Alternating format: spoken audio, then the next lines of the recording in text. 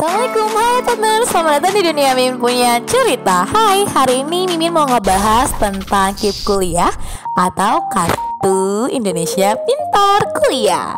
Nah, KIP kuliah ini dilatar belakangi oleh program Indonesia Pintar atau PIP yang mencakup bantuan berupa tiga hal.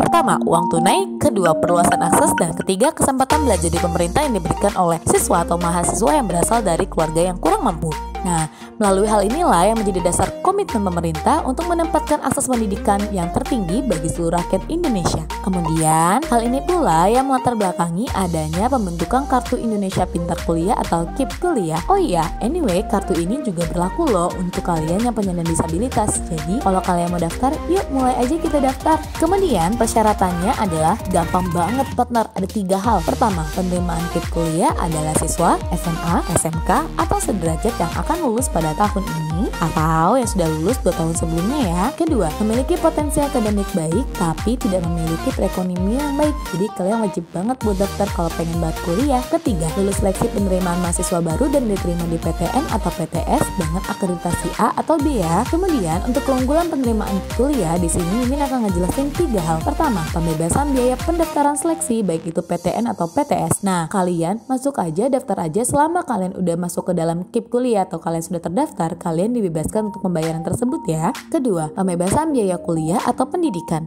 Kenapa sih dibebasin? Karena nanti KIP kuliah sendiri yang bakal langsung ngebayarin ke perguruan tinggi yang ingin kalian masuki. Ketiga, bantuan biaya hidup sebesar Rp700.000 per bulan. Gimana partner? Oke banget kan? Kalau menurut Mimin, partner wajib banget buat daftar loh. Nah, partner kepo mau daftar di mana? Yuk, kalau gitu jangan lupa cek deskripsi di bawah box kolom ini. Nanti langsung klik dan partner bisa baca lebih banyak lagi. Terima kasih partner karena sudah mengunjungi channel YouTube Mimin. Jangan lupa buat like, comment, and subscribe. Sampai ketemu lagi di another story of Mimin punya cerita. Dadah!